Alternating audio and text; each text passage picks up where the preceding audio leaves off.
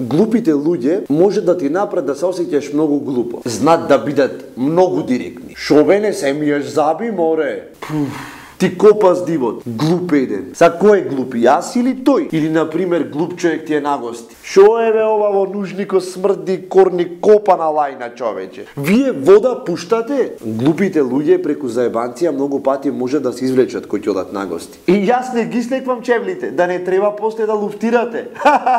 и си се спаси. А ти, уште во поглупа ситуација, ќе ги слечиш чевлите и после тувкај се да не ти смрдат нозете. Кој ќе влезат во продавница глупиде. На саламата пиши цена, тие тетка Васка го купари тие саламата? Ти пиши глупа, ти пиши купари. Ако земам пол кило поевтино ќе биде. Не е поевтино, ти пиши колку што е толку е. Или ја земаш или не ја земаш. Глупа една. Обично плавушите се рачунат за глупи, ама не е така. Плавушите не се глупи, тие се манекенки. Ако не текла и женската во глупа ситуација, кој ќе текла? Маријан, сакам да те запознам со моите. Не идам да ме запознаеш со твоите, глупо ми е, сваќаш? После кој ќе одиш кај незините, здраво чичко Ицо, здраво тетка Наде, јас сум Маријан. А во себе си велиш, пучко матер кај дојдо, не ќам да бидам тука.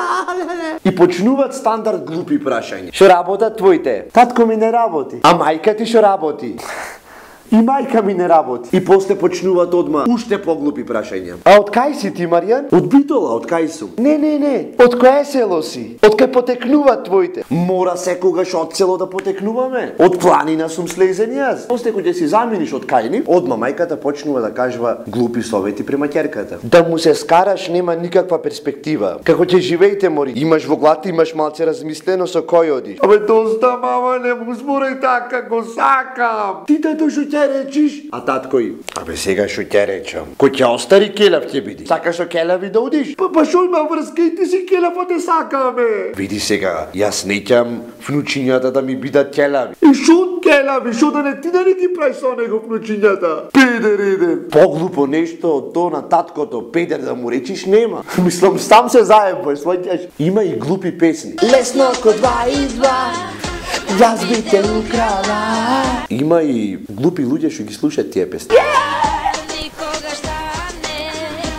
Не би дознала. А има и глупи текстови што ти уште поглупо да ги пееш. Бато ке ти треба многу, многу Кеш, кеш, кеш. кеш За да допреш секси веш Ајде маче мој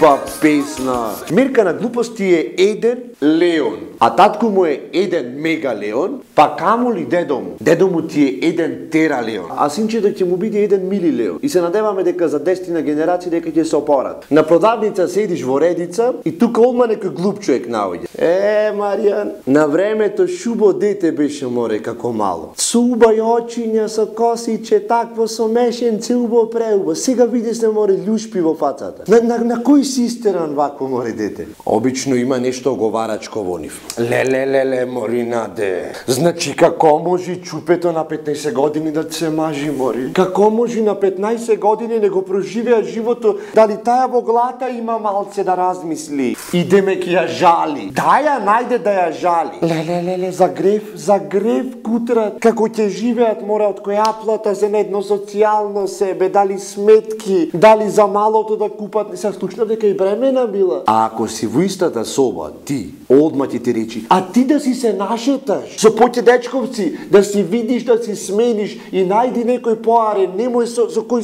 стигнало. А ако немаш дечко по неколку години, пак истата. Како мори немаш ватено дечко? За кој стигна се најде дечко, за тебе не се најде. Ах, мори, шо си ти, мори, од големото добро утро си. Сама по улици шеташ како пустогојно. Запечени, глупи луѓе кои што немаат фатено женски. И одат во некој дискотеки еднаш месечно излегват со цел да фатат женска. И не знаат како да се пуштат, не знаат како да се понашат. Слушам, не го примаш пивото што ти го врлив од келнеро, а? Не киш пиво, а? Пет вечери предходно врлај виски, врлај виска, врлај виска. Се оддадов мори по 30 милиарди фрлам на вечер заради тебе, ненормална. Ниту да ме видиш, ниту ништо. Ила мори в сило да видиш трактор нов со плугој нови земени, се чупи, трча, вика, вика, види го море, види го најубав од сите ние. Многу е глупо кога ќе почне да ти кажува човек виц, а го знаеш вицот. И сега се правиш дека не го знаеш, да не се осеќа глупо, а ти се осеќаш три пати поглупо. Овој вицот за плавуше, не знам али го знаеш. Во училницата имало 20 плавуши. Иди наставничката по географија и ги прашва сега. Ајде нека стани Маја и нека кажи на картата кај е Америка. И Маја излегва и ја кажува Америка. Овде е Америка. Добро, окей, таму е Америка. А која од Америка?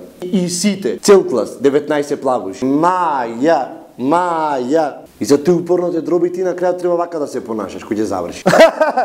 јак е брат. Многу е јак брат. Не го знаев. Има глупи кои што одат на сите избори за некакви си звезди како сакат да станат пејачи. И сега одат на еден избор, му викат не ве бива. Одат на друг избор, пак не ве бива. И упорно на трети избор. И тие застанат и пак упорно демек сакат да пеат. Јано леле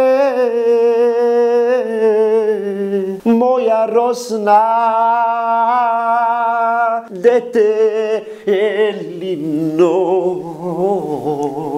И после тоа кој ќе ги прашат, што сеќаш додека пееше? Јас кога пеам, пеам многу емотивно и јас се внесвам. Ми се појавува Јана во моментот, имам чувство дека дека тука Јана и кој ќе пеам миди за плачење. Си се шеташ ти опте наоѓа некој другарче ти вика, ела брат малце нешто те праша? Па ја ти ова ја човек, цици што газ По, еј, лудници, еј. Абе, брат, сестра ми е. Е, од ова поглупо, ами. Ама тоа е. Со глупите луѓе не може. Оти ти прат да се осеќаш глупо.